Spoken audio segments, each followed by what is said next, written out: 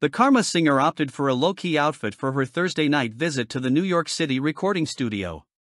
Taylor Swift knows how to make a late night recording session look ultra chic. In the early hours of Friday morning, the Karma singer, 34, was photographed leaving the Electric Lady Studios in New York City in a stylish black and white outfit that was perfect for the chilly winter weather. With her hair worn loose, Swift's look echoed the preppy style she has favored of late with an ensemble that included a black jacket with what appeared to be a white sheepskin collar and piping detail, a short black skirt, black tights, and a pair of heeled black loafers. Completing her low key late night fit was a small black purse, though the superstar added a pop of color with her signature red lipstick. Swift has been spotted at Electric Lady Studios a number of times this year, including in September, when she held an album release party at the famed recording location.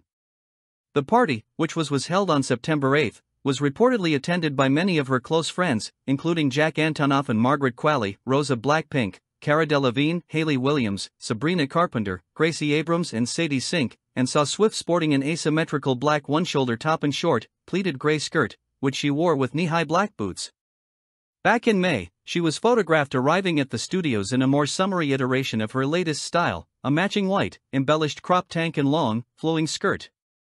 The May 24th visit to the NYC studios occurred shortly after the singer announced that a deluxe version of her album, Midnights, Till Dawn Edition, would be released that week. More recently, Swift has been enjoying some downtime during her Eras tour break, the latest leg wrapped up in November in Brazil, celebrating her 34th birthday with friends and spending time with her boyfriend, Travis Kelce. On December 17, the blank space singer cheered on the Kansas City Chiefs tight end when his team went up against the New England Patriots in Foxborough, Massachusetts. Swift was spotted wearing a knitted beanie with Kelce's jersey number on it as she stood in the stands with the likes of Kansas City Chiefs quarterback Patrick Mahomes' wife Brittany Mahomes and her dad, Scott Swift. Afterward, Kelce, 34, spoke about his girlfriend's appearance on the big screen during the Sunday game.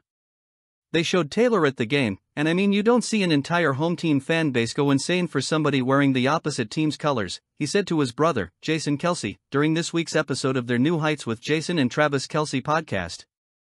It just shows you how amazing that girl is, he added. They went absolutely insane when they showed Taylor on the screen.